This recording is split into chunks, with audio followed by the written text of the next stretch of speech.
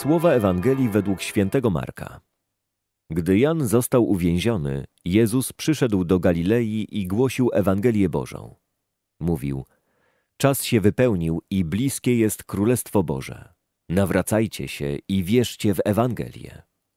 Przechodząc obok jeziora galilejskiego, ujrzał Szymona i brata Szymonowego Andrzeja, jak zarzucali sieć w jezioro. Byli bowiem rybakami.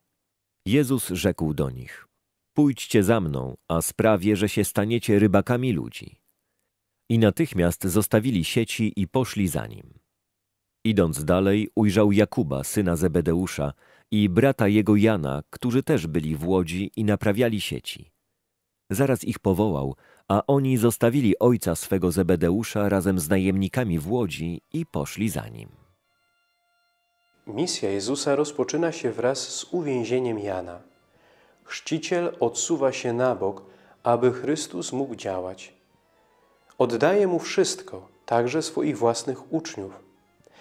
Aby ziemia wydała plon obfity, musi najpierw w niej obumrzeć ziarno.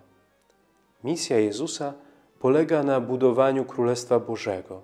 Zaczyna się ono od powołania garstki uczniów. Jezus nie robi castingu i nie wybiera najlepszych. Kieruje się zupełnie inną logiką. On patrzy na serce człowieka, na jego pragnienia. Powołuje tych, w których wierzy, że wypełnią powierzone sobie zadania.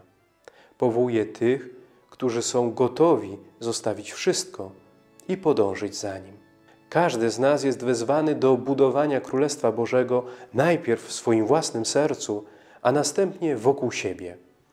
Królestwo Boże rozpoczyna się od porzucenia wszystkiego, co nie jest Boże, a więc swoistego nawrócenia, a następnie wyruszenia w nieznaną drogę za Chrystusem, kroczenia po Jego śladach i stawania się tym, kim chce nas mieć Bóg. Jeden stanie się skałą, inny synem gromu. Ktoś będzie wierny po Golgotę, inny chwilowo zwątpi i ze strachu ucieknie, ale później powróci i złoży najwyższe świadectwo. Jeszcze ktoś inny stanie się zdrajcą. Każdy z tych dwunastu apostołów był potrzebny Jezusowi. Kościół, który jest wspólnotą wierzących w Chrystusa i zaczynem Królestwa Bożego, także w swoich szeregach ma różnych ludzi. Nikt z nas nie zasłużył sobie, żeby być częścią tej wielkiej rodziny dzieci Bożych.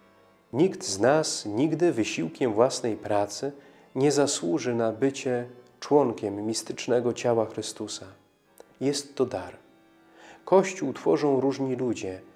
Nie oceniajmy siebie za lepszych od innych, ale w pokorze stawiajmy drugich wyżej od siebie.